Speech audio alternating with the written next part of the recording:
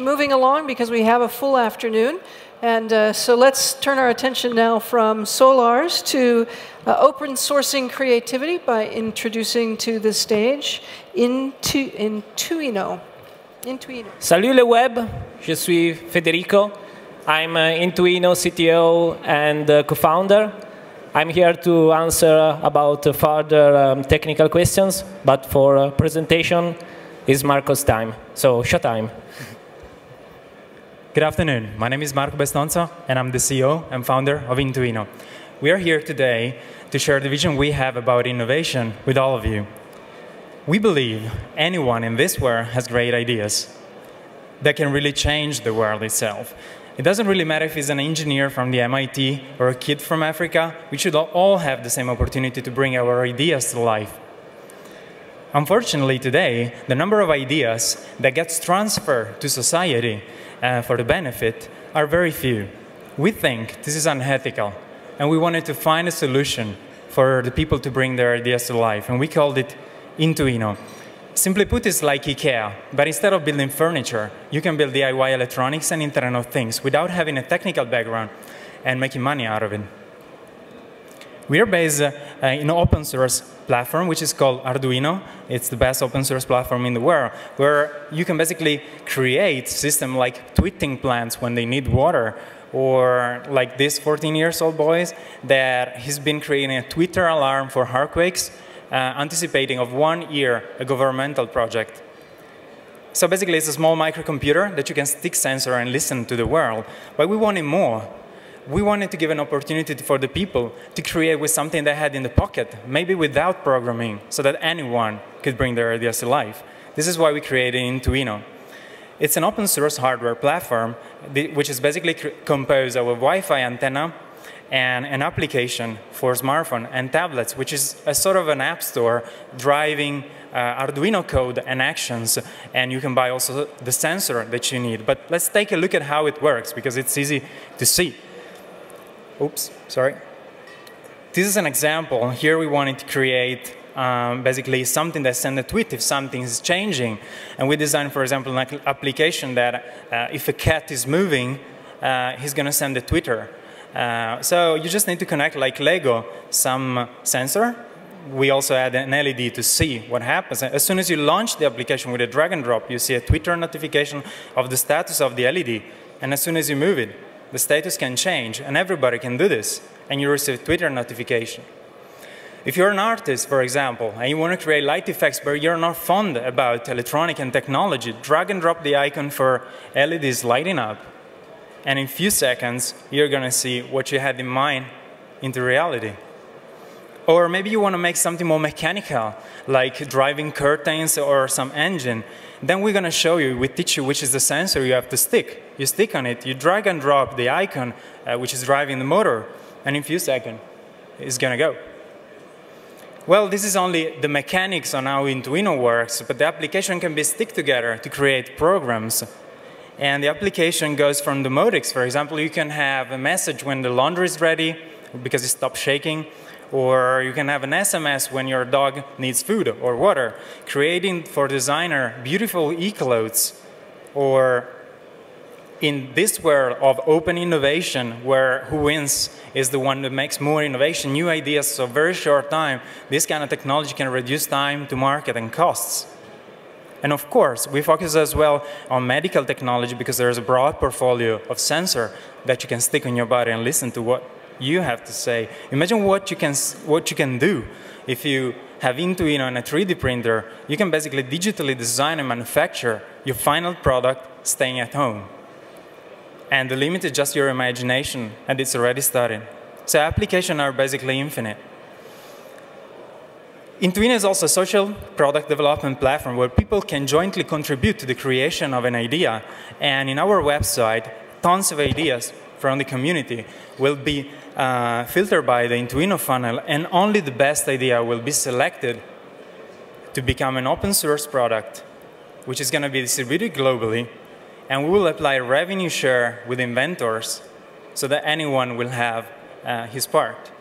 So our value proposition is basically that anyone is able of creating product ideas together, and it's convenient because you can, can profit from them. The revenue model is very simple. We want to become sustainable by selling our small antenna, the Intoino bulb, and the community uh, idea distribution the market we're actually facing is called the open source hardware, which is estimated to be 1 billion in 2015. Singularity University, the Washington Post, the Economist, everyone is talking about this fourth revolution that we also want to drive. It's called the DIY and maker revolution, bringing the people an opportunity to bring their own ideas to life. And VC, as well as Kickstarter project, has been already investing a lot of uh, millions in these kind of projects. The market feedback, we were born uh, four months ago. We are very young, winning the Startup Weekend Kauffman Foundation from Torino.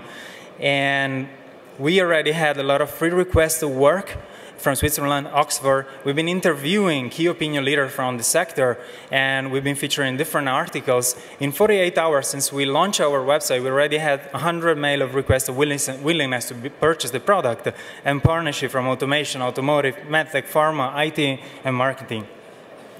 I need to thank my team, which is composed of great uh, entrepreneur and freelancer, and we're based in Italy, but geographically independent because we're selected by passion. So I hope anyone can start inventing. Thank you. Thank you. I'm going to ask you to stand right there and see that little spot you're standing on? That's what, there we go. I'm a little bit concerned about what will happen if my dog has a sensor to tell me when to feed it, but um, it will, I will have a very large dog, I'm afraid. Questions, please. So if I understand correctly, the basic value is that you allow people who aren't technical to create programs for the Arduino platform. Exactly. Exactly. I, I, I, think Arduino is super cool, but it's, it's already kind of a niche product already. It's very popular with hobbyists, but maybe not that well known by the general public. And then you're kind of narrowing it down even more to people who know about it but aren't technical, which is probably at this point the major market for it. You know, what gives you a sense as to how many people there are today who want to use it besides just the numbers? Like when you guys were thinking about doing this, why did you think we really need to get non-technical people involved now in, in creating applications for their, for their Arduino. Sure. Um, of course, we have a barrier that we need to overcome. Uh, we've been setting up uh, on our business plan a very tight uh, promotion campaign for bringing uh, the knowledge of our product into the people that normally uh, is not technical. Uh, we'll have a marketing campaign which is mixing online, offline marketing, so regular, regular marketing. We'll promote a lot of hackathons and uh, maker spaces in, in the community at European level at the beginning. Uh, as an advantage, we're really well connected with the key opinion leader in this kind of sector, which is actually, we are living a, a time of history where actually uh, technology is coming closer and closer to us. For example, we did everything do it yourself for our company, the website, from the technology and everything. So we will try to surf this wave, which is already on, but focusing on a very tight promotion campaign. For example, we had our Gantt project for five years, and we've been fulfilling the, the whole 2013 with events at global level. Uh, for example, one of them was the web. So we are just following pretty much what we've been uh, uh, thinking to do. And of course, we will try to target this kind of events which mix common people who loves design, technology, with, with uh, uh, also more technical people like TED and this kind of events. To, we exactly know who we want and who will love our idea, but we also had to think very specifically to how to get them. Mm -hmm. Other questions?